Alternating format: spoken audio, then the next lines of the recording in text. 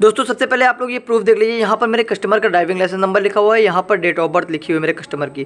बस मुझे submit button पर क्लिक करना होगा। जैसे मैं सबमिट बटन पर क्लिक करूँगा नेक्स्ट विंडो ओपन हो जाएगी। यहाँ पर प्रिंट बटन पर क्लिक करूँगा। जैसे ये दोनों बटन पर क्लिक करूँगा, यहाँ पर देखिए पी डी बन के आ चुकी है ड्राइविंग लाइसेंस की। इसको बस एडिट करके प्रिंट करके, आधार कार्ड की तरीके अपने कस्टमर को देना रहता है। ये देख लीजिए, मैं आप लोगों को दिखा दूँ। ये देखिए, आधार कार्ड की तरीके इसकी पी दिख रही है। Same to same Aadhaar card जैसे आप बना के देते ना, उसी तरीके आप ड्राइविंग लाइसेंस किसी भी कस्टमर का अपने दे सकते हैं जिसका ड्राइविंग लाइसेंस खो गया है। Hello guys welcome back to my channel दोस्तों, मेरा नाम है फैज और आप सभी देख रहे हैं टेक एफ़ जेड से वकीन से जुड़ी एक और नई वीडियो में आप लोगों का बहुत बहुत स्वागत है। दोस्तों, जैसा कि आप सभी लोगों को पता होगा कि आज के टाइम पे ड्राइविंग लाइसेंस एक बहुत ही ज़्यादा इंपॉर्टेंट डॉक्यूमेंट हम लोगों के लिए बन चुका है। चाहे एज अ आई प्रूफ समझ लीजिए या आप टू व्हीलर या फोर व्हीलर ड्राइव करने के लिए आप लोगों को ड्राइविंग लाइसेंस की ज़रूरत पड़ती है। लेकिन अगर आप लोगों ने सीएससी सेंटर या जन सेवा केंद्र ओपन कर रखा है तो कभी ना कभी कोई कस्टमर आपके पास ज़रूर आएगा कि भाई ड्राइविंग लाइसेंस खो गया है।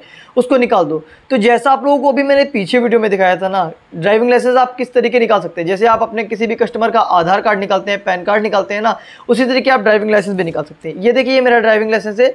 Same to same Aadhaar card के तरीके मैंने इसका पीडीएफ निकाला हुआ है।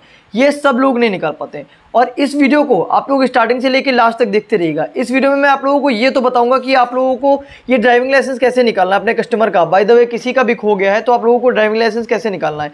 लेकिन निकालने के लिए आप लोगों को ड्राइविंग लाइसेंस नंबर की ज़रूरत पड़ती है। और बाय द वे आपके पास कभी कोई कस्टमर ऐसा आया जिसका ड्राइविंग लाइसेंस नंबर ही उसको नहीं याद है, तब आप इसको कैसे निकालेंगे? तो आप लोग इस वीडियो को स्टार्टिंग से लेकर लास्ट तक देखिएगा। मैं आप लोगों को ये सिखाऊँगा कि ये ड्राइविंग लाइसेंस आप लोगों को कैसे निकालना है आधार कार्ड के तरीके। साथ ही साथ ये भी बताऊँगा, अगर आपका कोई कस्टमर या जिसका भी आप ड्राइविंग लाइसेंस निकाल रहे हैं ना इस तरह आधार कार्ड टाइप में तो उसका अगर ड्राइविंग लाइसेंस नंबर उसको नहीं याद है तो आप उसका नंबर कैसे निकाल सकते हैं?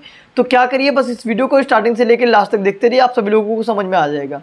तो चलिए दोस्तों, आज के वीडियो स्टार्ट करते हैं। वीडियो स्टार्ट करने से पहले दोस्तों, आप लोगों से हमेशा की तरफ़ से एक छोटी सी रिक्वेस्ट है। यार चैनल पे फ़र्स्ट टाइम विज़िट किया हो तो प्लीज़ यार चैनल को सब्सक्राइब कर लो सेवेंटी सेवन थाउज़ेंड सतहत्तर हज़ार सब्सक्राइबर होने वाले हैं। बस थोड़ा सा प्यार और सपोर्ट दिखा दो। वन लाख सब्सक्राइबर कंप्लीट करा तो जल्दी से मुझे भी मेरा सिल्वर प्ले बटन मिल जाए।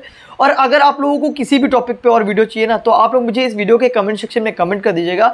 मैं आप लोगों के लिए जल्द से जल्द कोशिश करूँगा कि आप लोगों के टॉपिक की वीडियो आप लोगों को प्रोवाइड कर सकूँ। तो चलिए दोस्तों, अब इस वीडियो को स्टार्ट करते हैं। तो दोस्तों, अभी आ चुके हम लोग अपने लैपटॉप स्क्रीन पर यहाँ पर मैं आप लोगों को सबसे पहले बता दे रहा हूँ कि अगर आप लोगों का कोई कस्टमर ऐसा आता है जिसको उसका ड्राइविंग लाइसेंस नंबर नहीं याद मतलब वो खो दिया ड्राइविंग लाइसेंस और उसको ड्राइविंग लाइसेंस नंबर नहीं याद। तो आप लोग किसी का भी ड्राइविंग लाइसेंस नंबर कैसे निकाल सकते हैं? तो ड्राइविंग लाइसेंस नंबर निकालने के लिए आप लोग अपने लैपटॉप या मोबाइल में आप लोग गूगल क्रोम ओपन करिएगा। वहाँ पर आप किसी भी अपने ईमेल से लॉगिन कर लीजिएगा। वहाँ पर आप लोग यहाँ पर सर्च करिएगा एम परिवहन। जब आप एम परिवहन लिख के सर्च करेंगे तो आप लोगों के सामने पहली वेबसाइट आएगी होम परिवहन सेवा। आप लोगों को यहाँ पर क्लिक करना होगा। यहाँ पर क्लिक करने के बाद आप लोगों को यहाँ पर हल्का सा नीचे स्क्रॉल करना होगा और यहाँ पर जो पहला ऑप्शन है ना ड्राइविंग एंड लर्नर लाइसेंस आप लोगों को यहाँ पर क्लिक कर देना होगा। जैसे ही आप यहाँ पर क्लिक करेंगे, यहाँ पर थोड़ी देर लोडिंग होगा, उसके बाद सेलेक्ट स्टेट नेम का ऑप्शन आ गया ना, यहाँ पर आप लोगों को क्लिक करना होगा। यहाँ क्लिक करने के बाद आप लोगों को नीचे आना होगा। सॉरी यहाँ पर मैं गलत क्लिक हो गया। यहाँ पर आप लोगों को अपना स्टेट चूज़ कर लेना होगा। तो मेरा स्टेट लगता है यूपी तो मैंने यहाँ पर यूपी चूज़ कर लिया और यहाँ पर मैं नेक्स्ट पेज पे ओपन हो गया। ये ड्राइविंग लाइसेंस का पोर्टल है। यहाँ पर जब आप आ जाएँगे तो यहाँ पर एक ऑप्शन आता है अदर का। अदर में आएँगे तो यहाँ पर आप लोगों का एक ऑप्शन आएगा फाइंड एप्लीकेशन नंबर ये आप लोगों को ऑप्शन दिख रहा है ना, आप लोगों को यहाँ पर क्लिक करना होगा। ये मैं बता रहा हूँ कि आप लोगों को किस तरीके अपने किसी भी कस्टमर का जिसका ड्राइविंग लाइसेंस खो गया, उसका ड्राइविंग लाइसेंस नंबर कैसे निकालना है। जब आप यहाँ पर क्लिक कर देंगे अदर में आके एप्लीकेशन नंबर पे, उसके बाद आप लोगों को सेलेक्ट स्टेट करने वाला ना, यहाँ पर आके जिस भी कस्टमर का आप निकाल रहे ड्राइविंग लाइसेंस उसका स्टेट चूज़ करना है। तो आप जिस स्टेट में होंगे तो वही स्टेट का कस्टमर भी होगा आपका।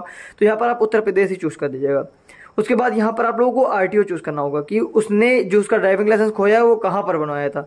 जिस ज़िले में बनवाया होगा वही आरटीओ होगा। तो हमारे यहाँ इधर क्या लगता है? बाराबंकी, जो कि यूपी इकतालीस लगता है। तो मैं यहाँ पर पहले बाराबंकी ढूंढे ले रहा हूँ।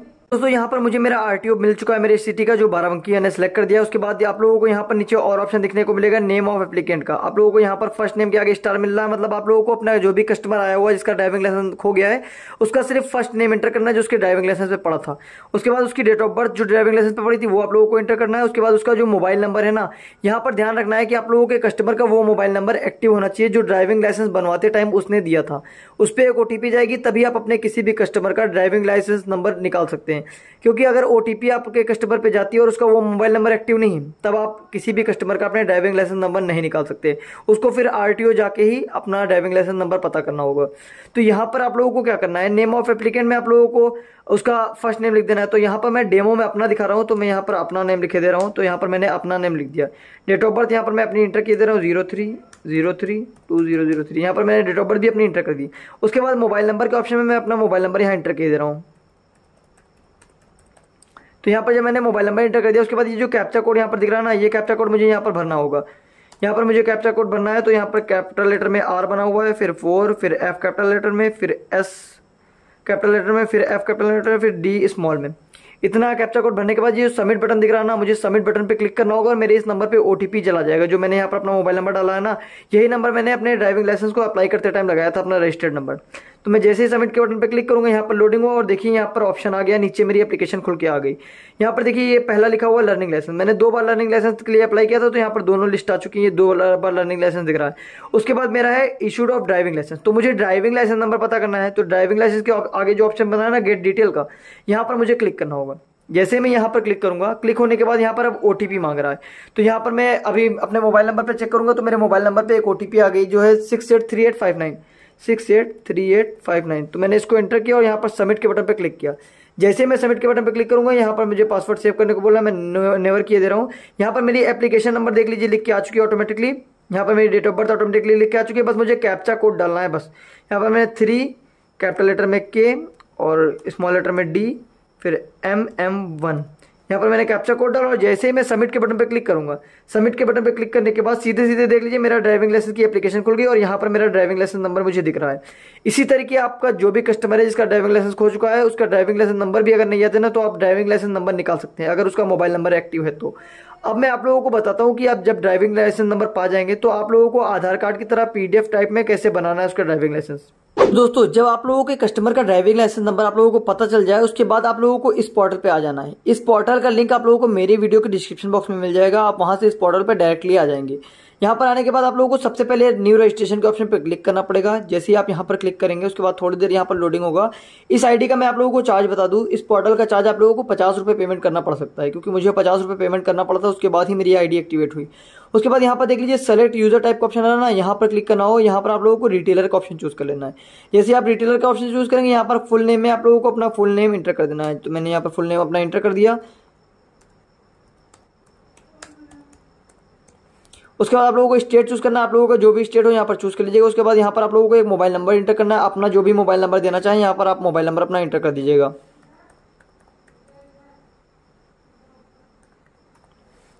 मोबाइल नंबर एंटर करने के बाद आप लोगों को यहाँ पर एक ईमेल आईडी देनी होगी तो आप यहाँ पर कोई भी ईमेल आईडी दे सकते हैं।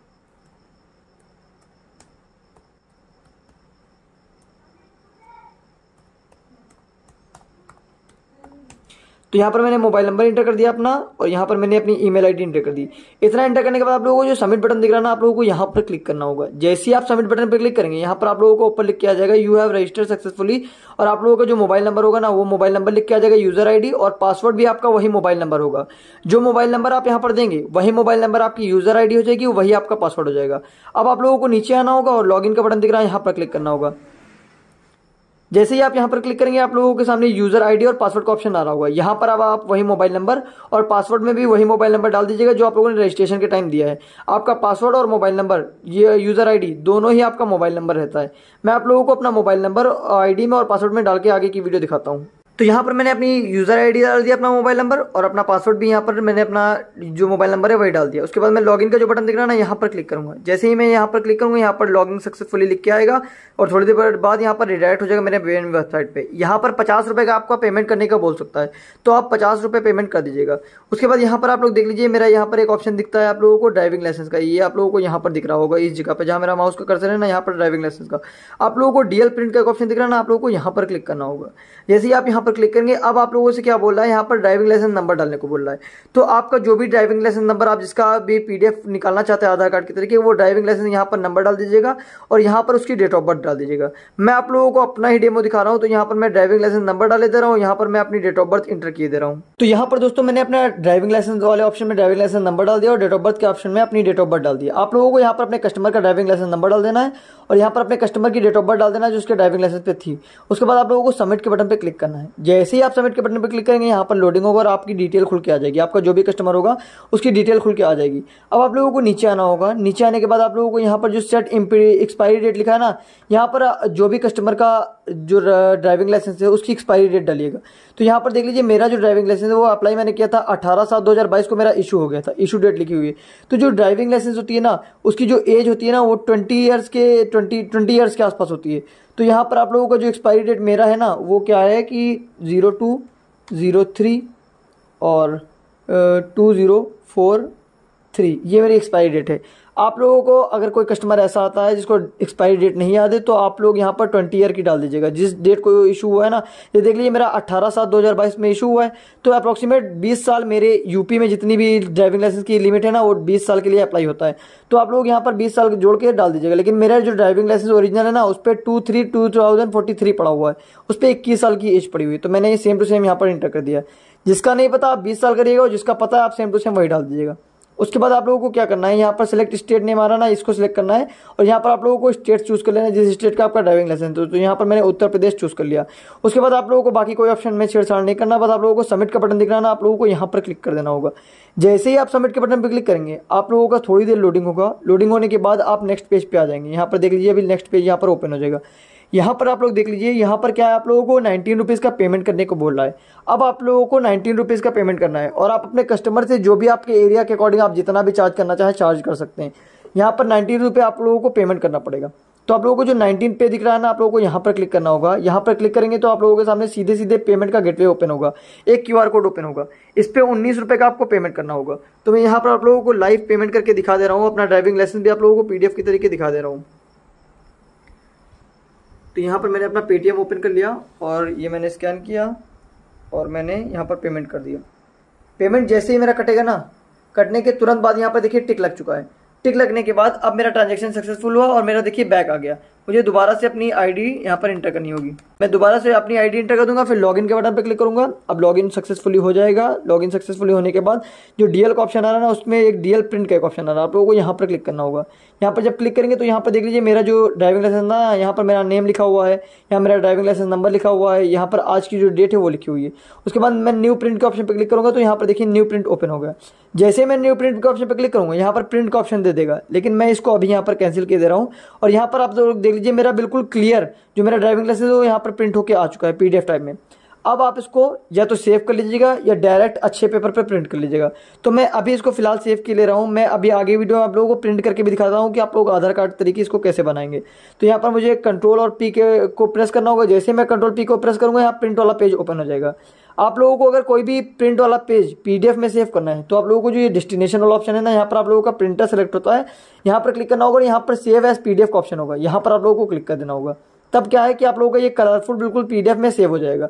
अब आप लोगों को सेव के बटन पे क्लिक करना होगा। जैसे ही आप यहाँ पर क्लिक करेंगे, आप लोगों के फ़ोन की सॉरी लैपटॉप जो होगा ना लैपटॉप की आप लोगों की माई कंप्यूटर ओपन हो जाएगी। यहाँ पर आप लोगों को मैं अपना डीएल दे रहा हूँ। डी माई डी माई लिख के मैं सेव किए दे रहा हूँ। जैसे मैंने सेव किया, ये सेव हो गया मेरे पीसी में। मेरा जो लैपटॉप है ना, इसमें सेव हो चुका है। अब मैं जैसे ही प्रिंटर कनेक्ट करूँगा, इसको मैं एडिट करके प्रिंट कर सकता हूँ। लेकिन आप लोगों को एक चीज़ ध्यान रखना है। अभी ये पीडीएफ में बना हुआ है। पीडीएफ क्या ये जेपीजी है तो आप लोगों को जब इसको सेव कर लेंगे ना पीडीएफ बना के, तब आप लोगों को इसको एक फ़ोटो में कन्वर्ट करना पड़ेगा। फ़ोटो में कन्वर्ट करने के लिए आप लोग प्लस वाले बटन पर क्लिक करिएगा और यहाँ पर आप लोगों को सर्च करना है पीडीएफ टू जेपीजी जब आप पीडीएफ टू जेपीजी सर्च करेंगे, उसके बाद आप लोगों को यहाँ पर एक वेबसाइट आएगी आई लव पीडीएफ की। आप लोगों को कन्वर्ट पीडीएफ वाले ऑप्शन पर क्लिक करना होगा। जैसे आप क्लिक करेंगे, यहाँ पर आप लोगों से पीडीएफ फ़ाइल मांगेगा। आप लोगों को यहाँ पर क्लिक कर देना होगा। जैसे ही आप यहाँ पर क्लिक करेंगे, उसके बाद आप लोग अपनी वो पीडीएफ चूज़ करिएगा, जो आप लोगों ने सेव किया अभी, और उसको ओपन कर लीजिएगा। जैसे आप ओपन करेंगे, यहाँ पर आप क्वालिटी चूज़ कर लीजिएगा हाई की नॉर्मल उसके बाद आप लोग कन्वर्ट टू जेपीजी पे क्लिक कर दीजिएगा।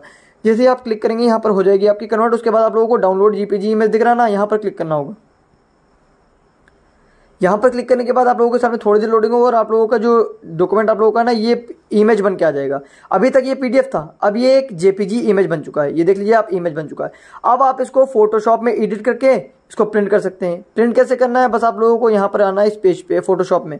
फोटोशॉप में आप लोगों को ओपन करना है अपना फोटोशॉप और एक बात और सुन लीजिए, ये जो पोर्टल है ना, ये आप मोबाइल में भी यूज़ कर सकते हैं और लैपटॉप में भी यूज़ कर सकते हैं। लैपटॉप में यूज़ करेगा ज़्यादा बेटर रहता है। फ़ोन में यूज़ करेंगे, हो सकता है पेमेंट के टाइम आप जब वापस जाए तो आप लोगों का पेमेंट कट जाए, लेकिन फिर भी आप लोगों का डीएल प्रिंट ना हो। तो ये सब प्रॉब्लम फेस करनी पड़ती है फ़ोन में। तो लैपटॉप में यूज़ करिएगा, ज़्यादा बेहतर अपने जनसेवा केंद्र पे।